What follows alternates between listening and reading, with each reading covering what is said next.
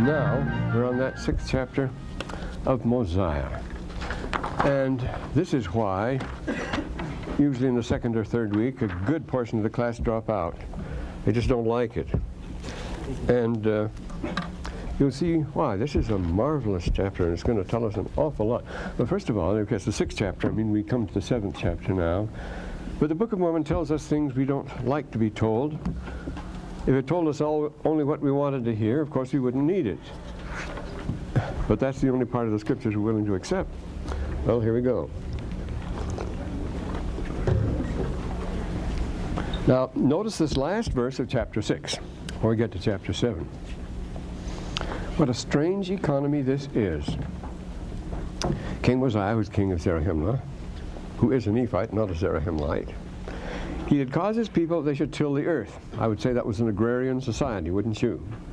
And he also himself did till the earth. The king goes out and plows. That thereby he might not become a burden to some of to his burdensome, excuse me, to his people that he might do according to that which his father had done in all things. His father had done the same thing. He's keeping the rule his father laid down in all things. His father, see, here you have, as we said the last time, the, the organic constitution of the land, and it remains. The constitution of, of Benjamin and Mosiah remains right to the end, and the great rival to it, of course, is that of the Nehors. But here, he done as his father done in all things, including cultivating the earth. He wanted to be like him in that too. And there was no contention among all his people for the space of three years. That's as long as, as Benjamin was alive. Benjamin lived for three years. So what's going on here? What kind of a, what a strange economy this is, in which everybody lives by the sweat of his brow. This was Adam's economy too. He didn't live in the stock market, he lived by the sweat of his brow. But should the king be doing that sort of thing? Well, why not? That was Brigham Young's ideal everybody would spend two or three hours in the field a day. That would be plenty if we all worked. And then we'd have time to do the things for which we're here, namely improving our minds, he says. That's what we should be doing. But Adam's economy, both in the garden, where he's told to dress and keep the garden, and out of the garden, where he was condemned to all the days of his life, you see, to toil and sweat, and uh, and by the sweat of thy brow he, sh he should earn his living. And are there such societies? Well, yes. Anciently, the king always cultivated with everybody else. Remember old King Laertes? And that is a light. Oh, I'm going to turn this. Oh, that's a light one, too. I'm going to put these dark glasses on just as sure as you're shooting. All right, now. That's much better. They don't like it, and I don't blame them, but enough is enough here. You see, I still, in my old age, I still have use for my eyes, and I don't want to get them all shot now. So now, old Laertes, I say, remember it tells us how he toiled in the vineyards, on the fields, old King Laertes, on the hillside in the sun and so forth.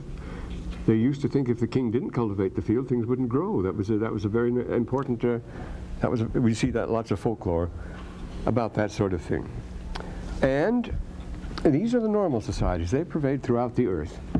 The other societies are expansive and acquisitive, as ours is, and destructive. They're necessarily destructive. We know we destroy as we go. Now that we're getting accustomed, we might take these. Oh, it's awful. Well, I'll just look down shyly then. and uh, so we have Aristophanes and Thucydides describing how it happened. Aristophanes wrote a long list of plays, all criticizing the transition of Athens from its old-fashioned, quaint agrarian society to a new, aggressive, expansive business society. And it's biting satire. And then, if you want clinical analysis that belongs very much in our day, remember, this is the first thing General Marshall said to all his, uh, George Marshall, remember the, the, uh, chairman of the board during during World War II. He, he, was a great general, a great man, but he always had them start out by reading Thucydides. What happens when we get expansive and ambitious and, and this sort of thing. And uh, the utopian ideal uh, was tried, of course it didn't work in this country. Uh, we're talking about where everybody works in the field and so forth. With Latter-day Saints it worked, but when they tried it with the Amana Society, or Robert Owen, these idealistic societies, utopians, they didn't work because the people were just factory workers that had just decided to get away from it all and go back to the soil. they weren't accustomed to it. It wasn't their way of life. But this is a way of life that is extremely ancient. We find these fields in Britain now. The new, there's a new collection of, of photographs, air photographs of Britain.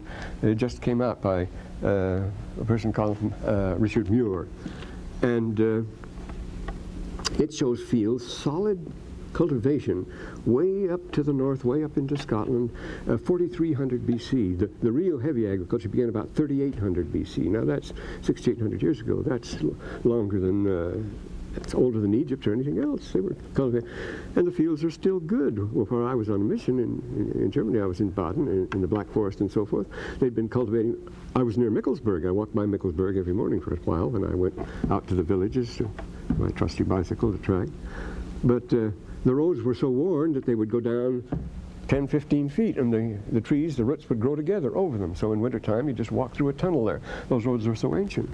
Uh, the Michelsberg civilization around there, it's left its, its remnants, uh, is so old that, uh, well, it, go, it goes back to the the Upper Neolithic. It's very old, and the pots and pans are, uh, and then bell beakerware and that sort of thing.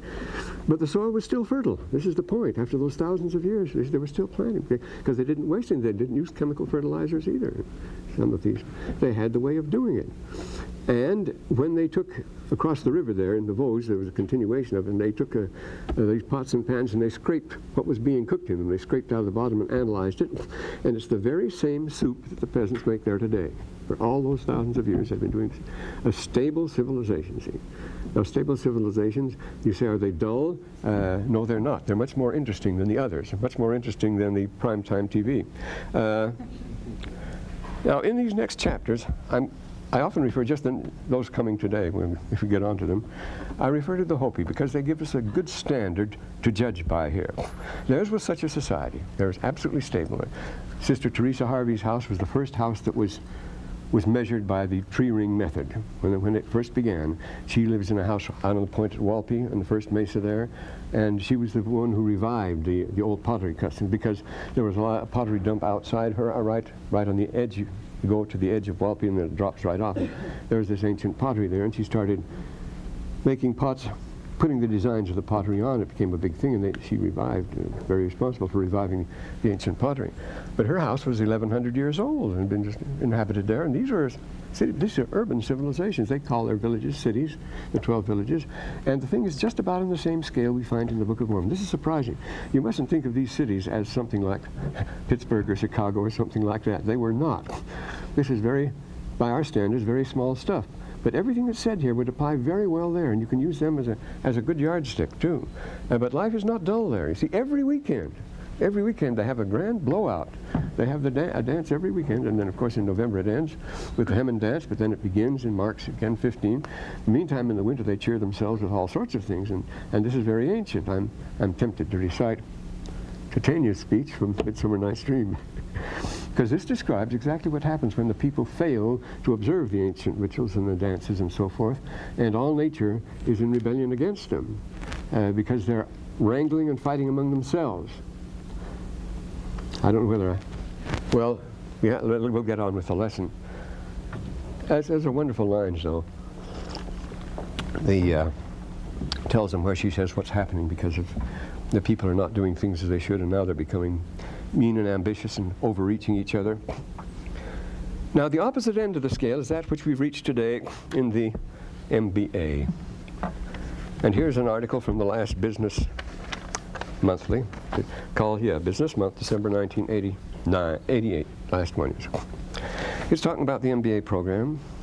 It's the nearly unanimous views of executives. Now, this is the opposite extreme of that other civilization, that agrarian, stable civilization I'm describing, which I attempt to show later on is not a dull form of life. It is nearly unanimous view of the executives that MBAs are lacking in humility, humor, and humanity. All values attributed are all valued attributes for executives. A poll of 480 chief executives were asked that, and they agreed on it. One of them says, those young people seem to be intent on destroying each other to get to the top. Now, you're not going to have a stable and enduring civilization on that. that there's no, no survival value in this sort of behavior. They are, I've been watching MBAs in the business for 20 years, the partner of Lazard Frères and Company. MBAs in the business for 20 years, I've found the great majority of them immature in their judgments, inclined to make strong judgments without background of experience, ill-mannered, rude, brash, impatient, condescending. This is a nice generation coming up, isn't it? I have a son-in-law who was very active in, in the program at MBA, at the Harvard program at MBA, and he left it. He said they could think of nothing but money, and that's, that was very jarring. Rude, brash, and condescending. Uh, the list goes on and on, it says.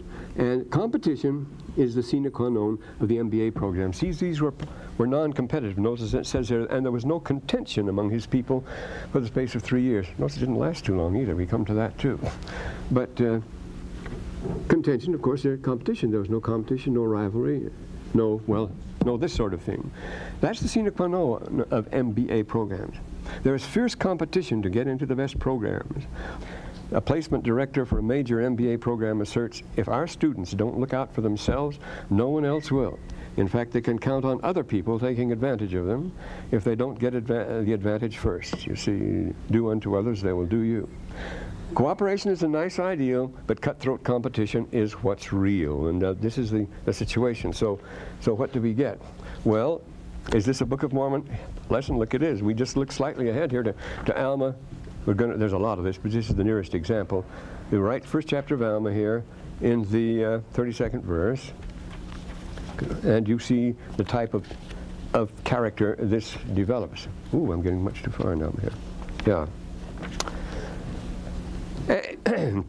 indulge themselves in uh, uh, or sorceries, that's a shortcut, the sorceries, and in idolatry, in idleness, in babblings, envyings, and strife, highly competitive. See, envy, strife, babbling, spread the gossip around, and so forth. You can injure a person that way.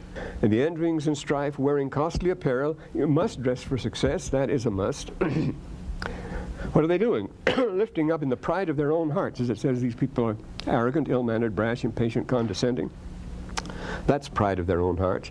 Lying, thieving, robbing, committing whoredoms, that's on the side, but it's, it's uh, de rigueur. It's what you always get in the TV prime time. And murdering and all manner of wickedness. Well, that's the picture. That, that's the type. That, that's the alternative. That's the other civilization. And now I have some gems from last Sunday's paper that I'm going to show you. This is a treat. Suspecting massive fraud flumps his wealth. Bogus brokers sell worthless Utah firms worldwide. Well, this suspect is quite a guy. He went up to Park City, and we're quoting here the manager of the White Star, uh, of the of the real estate company that sold it to him. He went up there and dropped at least a million and a half to two million bucks in the place in a fancy house at Park City. If you drove down that road, you were going to see one of the most beautiful estates in Utah. I bet his gate cost $20,000, he said, and nobody knows where the money came from. Isn't that remarkable? This is not the same economy as the king working in the field by the sweat of his brow, so he wouldn't be a burden to his people. So no one would have to pay the price of his ease. But here, look at the people that go down the drain for these. And this is what the Book of Mormon is telling us about while this emphasis on economy and so forth. It was never so in my day. We never thought, we thought this was fantastic. Long ago and far away was considered romantic. The missionaries always pushed the Book of Mormon as a romantic history, a story of the Indians, that's all. We never saw any connections at all in this stuff, and you see what it is now. Therefore, woe be to the generation that understands the Book of Mormon. So this is what we reach today. The point when the fruit is ripe, is the cup full yet? Remember, the Lord says he will let it go on till the end till the fruit is ripe. Then no, there's no point to let it going on any longer. It'll just rot after that.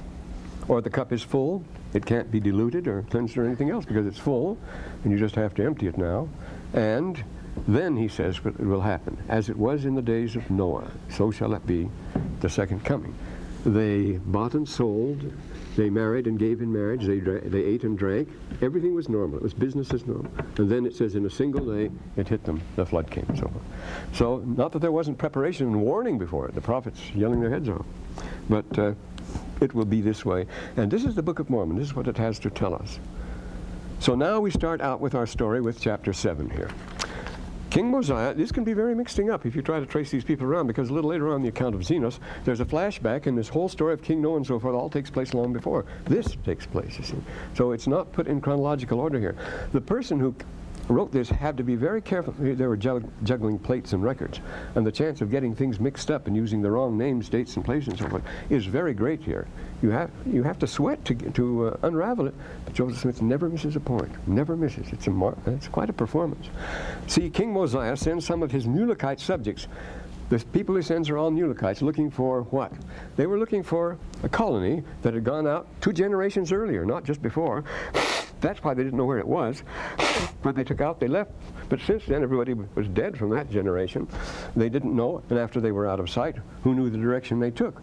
But they got lost and couldn't find this lost colony. But they thought it'd be a great thing because well, they remembered going out. Uh, it's being sent out and so forth. This was, but this idea of, of lost colonies, again, there is a common thing. You see, the uh, the, the story, story, Bar Hebraeus, and you get that. Well, Aurel Stein, lost colony. Eldad uh, Hadani was a Jew who uh, looked for the lost tribes of Israel, and he found lost villages, settlements of Israel all over the place. You can find them in China and so forth. All sorts of, well, Lost Horizons, you all know. Uh, not Heller Hillman's famous novel about that. It's, it's like, it's Hill something. isn't Hilton, yes. Uh, James Hilton's novel lost horizons. Well, these, these lost villages, lost civilizations, and Pinoche, uh, uh, uh, an old French settlement way up in the Black Forest.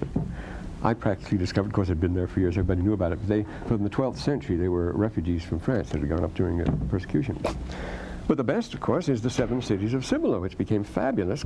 They're down in the in the Hopi country, uh, in uh, New Mexico, lost some, but they were lost, and everybody was hunting for them because they're supposed to be made of gold. The Spanish brought them. Esteban and the others were looking for it, and anyway, they it was a lost, and they lost. It says they couldn't find it now. Let's see what it says about it. It, it pays to look at the text once in a while, doesn't it? King Mosiah granted 16 of them. They're strong men. They kept teasing him about it. See, they wanted to go. They, it's this tradition. Let's go. Well, of course, it was romantic. It was exciting. So look at the people that want to, to go treasure to go treasure hunting. They're a mile long off the Florida Keys or wherever it is. Uh, we see them now. They go out in their, their yachts and they uh, find Spanish gold. And the gold is, there is Spanish gold there, so you can't blame them for getting all excited and also looking for gold and treasure hunting. Remember the great treasure hunting in Joseph Smith's time. He was accused of being a treasure hunter because he dug for somebody who was a treasure hunter.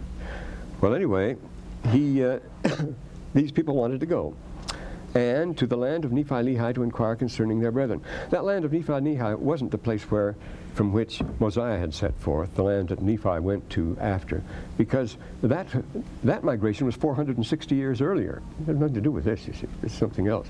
It was called the city of ne uh, Lehi Nephi here. And their leader was Ammon. He was a strong and mighty man and a descendant of Zarahemla. So these were a Zarahemla crowd, a Mulekite crowd that went, descendant of Zarahemla, I see. And they didn't know the course to go because, after all, it had been uh, hundred years before that, they, that this had happened. Or a little less, maybe, but just about. They should go travel in the wilderness to go up to the land of Nephi Lehi. Fourth verse, you see.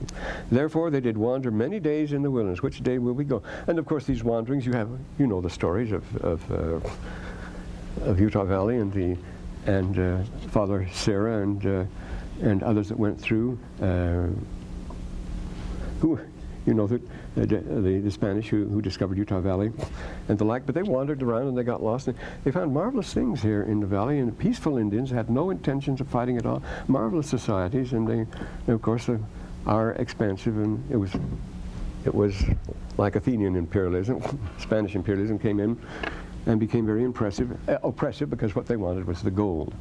But uh, I'm not thinking of just Junipero Serra, who was in California, of course, but the uh, who was it who came down Spanish Fork Canyon? Esteban. Mm. Esteban. I mean Escalante, uh, Escalante, and uh, and his companion. Well, companion. Escalante was a companion, wasn't he? The original father was. I'll think of it in a minute. But so they wander around and see it's a matter of and how do we get home and it's a great country for wandering. Not not a very dense population. See that's that's a thing understood. This is what you call the macro criticism. Low population in a lot of territory. Well, it's still the case in places like Nevada and so forth. Well, anyway, they're going to look for this place, and they couldn't find it. They wandered all over the place for 40 days, but they did find something. Then notice the type of land they come to. They come to a hill north in the land Shilom. We now found it, the, which is north of the land of Shilom.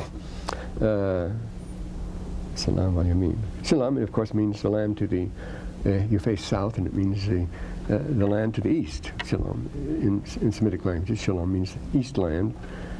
They go to the land of Shalom, which, in which they pit, pitched their tents.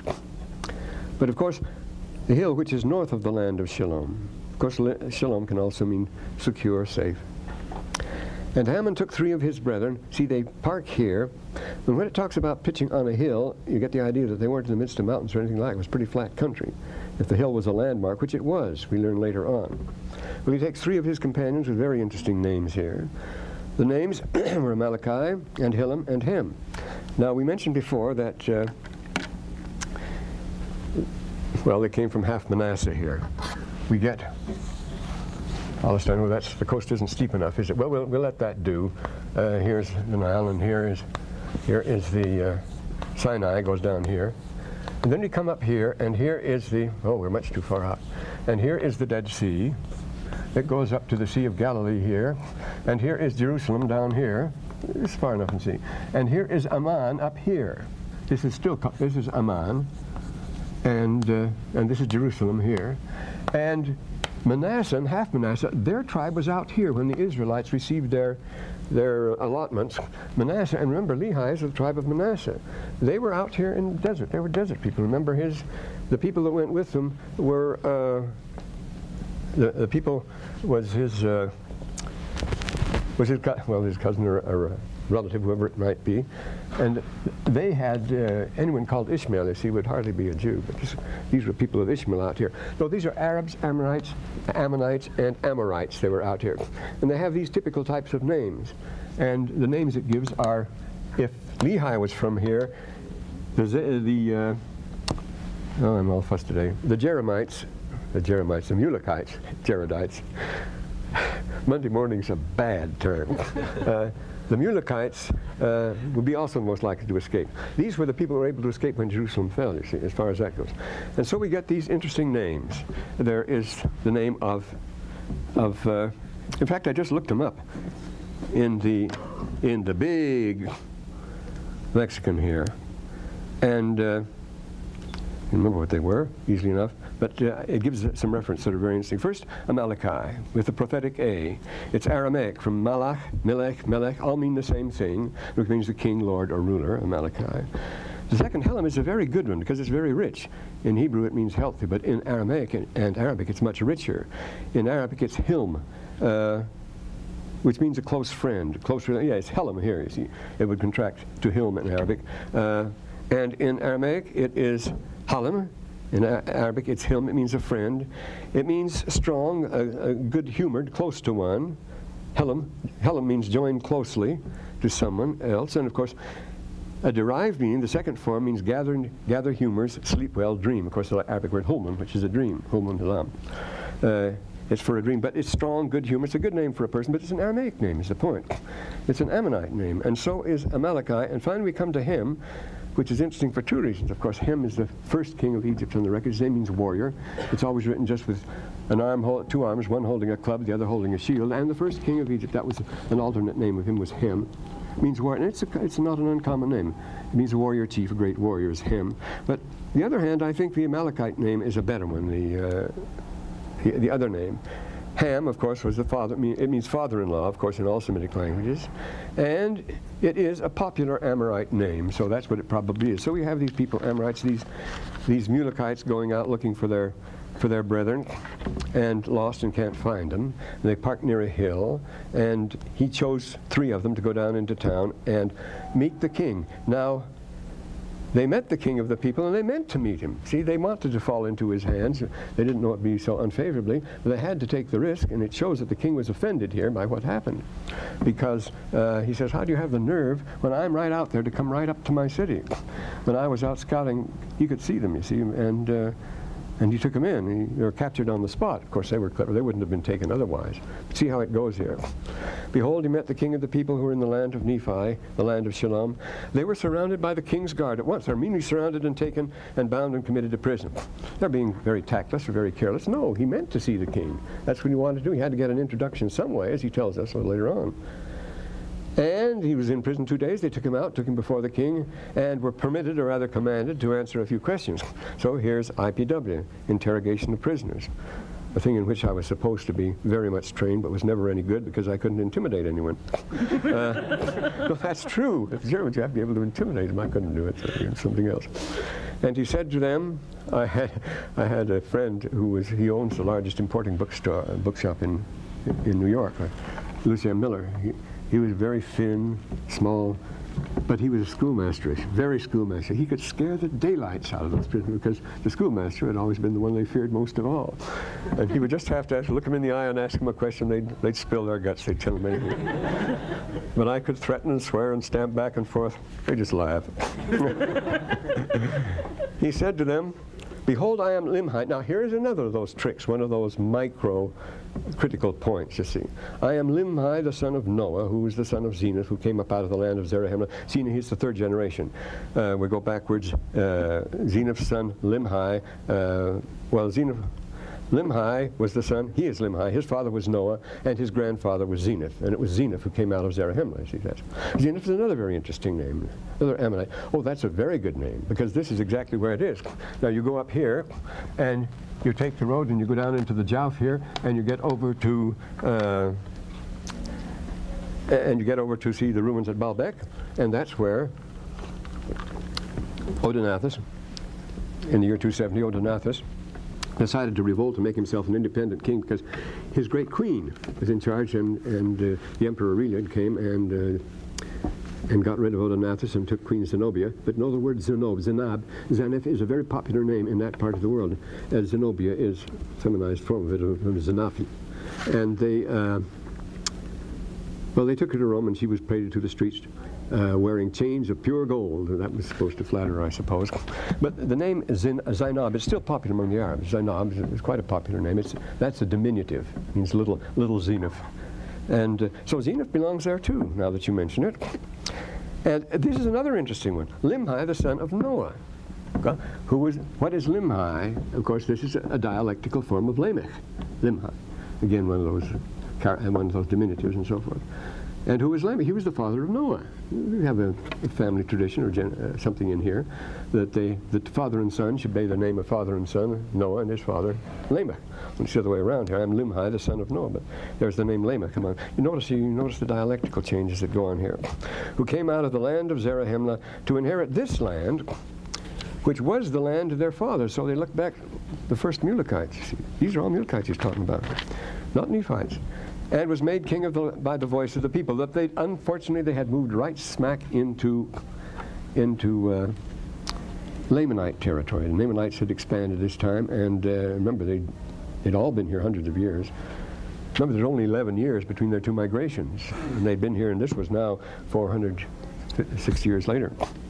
Made king of the by voice of the people. Well, that was the Amulekite king, and that was the way the people had made, the people had made. Uh, Mosiah, their king, the same way, even though he was a stranger. Well, the same way when you get Romulus made king. Kings were very often chosen. We mentioned before, like George, like George the First, and well, William the First. He forced him to make him king. But no, there are others that were actually chosen that came in and took over. People wanted them to be kings because they were. Well, the story of the knight errant who is chosen. You see, who comes in and, and the people uh, choose him. And now I desire to know the cause whereby Ye were so bold as to come near my walls when I myself was out there in plain sight. He says, he doesn't say in plain sight, but he says, I myself and my guards, were, we were outside the gate, we were on patrol, and you had the nerve, to make so bold as to come near the walls. He wanted to get picked up was the point, but uh, the king didn't see that at the time. It looked like pure insolence as far as that goes. They could avoid him. It was at night, and they well, if it wasn't night, they were even more bold because they were quickly taken and captured. Took no skill at all in that case. But, uh, and now Ammon saw that he was permitted to speak. That's exactly what he wanted. I am assured that if you'd known me, then you'd be glad to see me. For I am Ammon, that's a good old name, a descendant of Zarahemla, a good old Mulekite name. I have come out of the land of Zarahemla to ask about our brethren, whom Zeniff, aha, the king's grandfather, who Zeniff brought up out of that land. That's Limhi's grandfather, you see. And so, and now it came to pass after Limhi heard this, he, he, he exploded, well, cousin, how are you feeling, you see? Now I know that my brethren who in the land of Zarahemla are yet alive. Again, you see, if, if uh, Zarahemla had been a mighty city at the time they left it, he wouldn't be worrying whether they would survive or not. It was a very small affair. hanging on probably by the skin of their teeth. And now we'll rejoice, and on the morrow I'll cause all my people shall rejoice also. As I said, the Hopis have every week they have their, their dance and their celebration. They, they come from all the 12 villages. It'll be in one village. We'll host it one, and then, then another, the other time. The whole nation, they all come together. Everybody, no work, nothing like that. They have a high old time. And it's a very solemn affair. I mean, those costumes, there can be nothing bought, nothing artificial, nothing cheap. The, the colors all have to come from the berries and the minerals and the feathers and so forth, the macaw feathers, have to come from Guatemala. Very interesting. What are the Hopis getting their macaw feathers from Guatemala? Because they're forbidden because of psittacosis from crossing the border. But they go down and get them. It, it's another story. You'd be surprised the connections here, showing where they came from. See. To make, uh, at the spring dance, to, to make things official, they have to wear macaw feathers and they have to be real. And they have to be fresh all the time. This is important. So I say they have a great time, keeps them busy and, and occupied and happy between the long hours in the field. I am assured that if you had known me, and the way they stay in the field, to show how it's the poorest land in the world. Their agriculture, and as you know, if you've done it to, to, to Cheyenne, northeastern Arizona, that there's nothing there but sand. There's sand, and then there's the mesas, but it's just sand. So what you do, you take a stick and you push five seeds of corn sacred number. You put five seeds of corn down about 20 inches. You push them down and trust that the groundwater will make them grow. And they do grow, but never more than about a foot or 18 inches high, never more. And I've never seen a stalk that had more than one ear of corn on it. That ear of corn was treasured. It was precious. They were taken and stocked, piled like wood in front of the house. Piled, everybody keeps track of every ear. They say if, if one of us has corn, we all have corn. But they've been able to live and live well with hard work. Yes, they don't mind that all these years on nothing. They would see they were pushed the, the, law, the, the most out of the world place in the world, and the, they, they, were the Mokis, the Hopis, the, the peaceful people. They were once the most terrible fighters of all. They're on these high mesas. When I first went down there, years ago, you still had to get to First Mesa by ladder, one side of it, and then, then they put a road up and everybody started driving off and getting killed. But, uh, but it's amazing that they could not only survive and be happy, but go on for thousands, and, well, they came up from the south. They, their story, they, they tell how they got from the south. Now, that's another thing. Now, wait a minute. We well, this is another thing about getting lost and so forth. We'll, because the story of their wanderings is very important. They keep a record of their wanderings. They came up from the great red city of the south when it was destroyed see, because of wickedness. The Zarahemla of the south, because Zarahemla means red city, you know, Dara Hamra. And uh, Zara, Hamra means red, feminine for him. Uh, Ahmar, Ahmar is red, feminine is Hamra. And Dar, Zar is a settlement, a settlement or a colony or community. And you say Zara Hamra, that means the Red City. But anyway, that's coincidence. I don't know whether there's anything to it or not. But uh, it's good, clean fun to engage in these things. And uh, they say they came up from the south, up the long little Colorado, and they, they tell about their wanderings and so forth. And they kept the record, and thereon hangs the tale. Well, so that's that, he says. And he was exceeding glad. Behold, we are in bondage to the Lamanites. He had walked into a Lamanite trap because the Lamanite king welcomed them in with open arms and sold them the land and settled them down this beautiful acreage and so forth. And immediately they were paying for it through the nose all the rest of their days. Uh, happens, you see. For it is better that we be slaves to the Nephites than pay tribute to the king of the Lamanites. See, they knew that uh, these people were, were they were set out by a Nephite king, by Mosiah. They represented the Nephites. See, now, Mosiah brought quite a crowd with him, too. And Zarahemla, though it was a Mulekite city, uh, was a Nephite government. The Nephites, uh, they recognized the superiority. This is a very common thing, but where you have two civilizations come together, the superior one takes over, just uh, understood as far as that goes. Well, of course, there's your Norman French and the Saxons, the Normans and Saxons in England. The and now King Limhi commanded his guards that they should no more bind Ammon or his brethren, and they should go to the hill and bring their brethren back. And you see what kind of country it was, because they'd been there waiting, wondering what happened to the, th the four men that disappeared, but they'd suffered hunger, hunger and thirst and fatigue. They'd been looking around for something to eat and for water. They were thirsty. So it wasn't a, a lush jungle or anything like that, with plenty of fruits growing and that. It may have been pretty far north central Mexico, something like that. The territory, the whole scene reminds us very much, uh, it's our Pueblo Indian society, who have real settlements, permanent cities, I mean, I mean. Uh, and uh, they had suffered many things, hunger and thirst and fatigue. And King Limhi sent a proclamation among all his people again. Now the king is the chief. They use the same words uh, interchangeably. It doesn't make any difference here. Together to the temple to hear it. And of course the temple is the center of everything. That's the, that's the kiva. And it's a real temple. They're built, the temples of the Hopis are built like the temples of South America. They have stairways going up on either side. The best ones are in, in Hotevilla. And uh, that's the center of everything. Everything takes place there. I mean, this is, this is the thing, and it's, it's, it really quite surprise you if you go sometimes. There's the first spring festival, the 15th March, which is all by moonlight and at night, and it's uh, because it's so exactly following the Egyptian rites at the same time. It just everything about it. The have Wuti who comes out, marches the men that march on either side of her, and the whips and all the rest of it.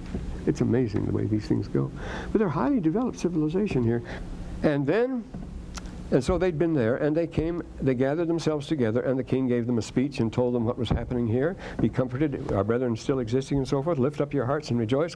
Put your trust in God, who's the God of Abraham, Isaac, and Jacob. They're going to celebrate, they're going to dance, you see, cause that they should walk through the Red Sea. They know these traditions because the Mulekites, uh, like the, uh, they know about them, if only because King Benjamin, uh, who was a uh, who was a Nephite, had had this long range and taught the people and was a great antiquarian. He forced his sons to learn Egyptian and this sort of thing.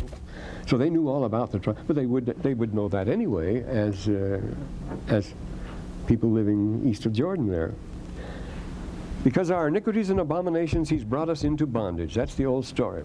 Ye are witnesses this day that Zeniff, who was made king over this people, he was overzealous. He's going to tell us his story a little later on. You see, Zeniff was overzealous to an ah, don't let don't be overreached. You see, it was his greed here overzealous to inherit the land of his fathers. By the cunning of King Laman, he, he, he sized it up. And they made a treaty. They signed. He, he signed on the bottom line and took possession of, of the, uh, having yielded up into his hands, he gave him part of the land, called the land Nephi. Notice they're city-states, the land or the city of Nehi Nephi, because every city, every village has its, its round, surrounding it, and you know that's the city-state of antiquity until the time of Lehi, when they broke up and became more empires and one overtook the others. He was in the time, exactly in the time of Lehi, that we find all this expansiveness, all this colonizing and exploring, and this is the tradition here. All this he did for the purpose of bringing people into bondage. He had a clever, just like the sharecroppers, you get half of it and now you're stuck for the rest of your life. And treaty and a trick. Good examples in Caesar's Gallic wars at the beginning. Uh, Vercingetorix, uh, he makes such with, with he makes such uh, treaties with uh, tribal chieftains or kinglets in Gaul. He's in Switzerland. All his people move out because the valleys are too close for them. And they make these, and before you know it, he's taken over. He's taken over, taking advantage of the contracts and so forth. Some wonderful stories in Caesar about this tribal way of uh, playing the game with each other. And so they had to pay him one half of their corn. And uh, one half of all we have as far as that goes. And so the blood has been spilt in vain because of iniquity. All this, they, they rebelled against them and tried to get free, but it didn't work. Because of their iniquity, the Lord is going to keep them in bondage. And then there arose contentions among them. So they start started shedding blood among themselves. And this is the old story. This is the story of the Indians, of course, as far as that goes. After peaceful, they all start fighting each other, tribal wars, and contentions among themselves. So they did shed blood. And a prophet of the Lord have they, have they slain, because he said unto them that Christ was God, the Father of all things. Well, why would he do a thing like that? He said that God should come down among the children of men. And this, of course, when Jesus said that, uh, they stoned him too. But here, the, uh, what was I trying to think of here? Um, not just a Christological controversy. That the, uh, uh, was that enough provocation as far as that goes? Oh, yes, it was enough provocation. You've got to watch yourself, you see. They have two societies. The Zunis have them as well as the Hopis the one horn and the two horn. The two horn act as benevolent spirits and go around and do what good they can to people and help things, people out of trouble and so on. But look out for the one horn. Everybody, they're the dangerous ones. If you do anything that's the least bit out of line, there is just one solution, and believe me, they take care of it. It's the end. They, they kill people for it. And this is exactly the sort of thing that the, the one horn society would do if he said something that was out of line. A prophet would say anything that God should come down among the children of men, wham, that's it. And uh, this. Uh, there's quite a tale behind this too. And because he said this, they put him to death for that. Well, that's enough reason. Well, after all, look at Persia today and under the Ayatollah. If a woman just raises an eyebrow or says something, bam, it's something like that. You get, you're a non-person or you're killed. Just the slightest sign of disaffection or rebellion, and, and that happens. And we've seen dictatorships in which that's so in our day. It's not exaggerated. A person who shows the slightest sign of dissension or disagreement is in real trouble. Well, the prophet, he went around yelling about things. That got him out of the way. So these people are being punished for it. And again, if my people shall show slow filthiness, so filthiness, they shall reap the chaff thereof, the whirlwind. That's pollution, is filthiness and so forth. That's an Old Testament expression. And they shall reap the east wind. Well, and then the king oh, I see the time's nearly up now. In the next chapter, then, we got to, we got to go faster than a chapter at a time. We'll never finish the book this semester, will we? Uh, he caused Ammon to stand up before the multitude and rehearsed unto them everything that had happened. He told the story how they came up from, uh, went up out of the land, uh, the same time he himself came, and they both compared records and compared their stories of what had been going on since. And he told them the last words of King Benjamin, which were very important, you see, and so that they might understand all the words which he spake. So he gives them the laws that Benjamin laid down. Uh, of course, his father Mosiah was a great lawgiver too. But this, these, I say, become the basic teachings. These become the, the standard uh, work for these people. And then he dismissed the multitude that everyone should go to his home. Notice by it's by families, and they all go to their homes. And that's an interesting thing too. Uh, though uh, societies like the Hopis are very communal, I mean they share everything they have, and so they'll all get through. They have to, but they're very family conscious. And of course they're divided into seven clans. They have clans and groups, and you belong to clubs, and, and they're secret and have their own signs and symbols and so forth. And then, then you have the whole group, and then you have very strong feelings among. Uh, separate tribes and nations there. We'll, I see the time is up now. We'll go into that. And uh, yes, he he's going to tell them how they went to sign the land of Zarahemla. So we'll end here and resume the next time. Can you wait? Read the next chapter and see what happens. No, then it gets into the record of Zenos. Now, Zenos, this is a flashback. Zenos takes us way back to the time of King Noah, uh, who is his father. And he was a terrible man. His Noah was one of the worst characters in the Book of Mormon, and Zenos was a great man. So it goes to show you never know.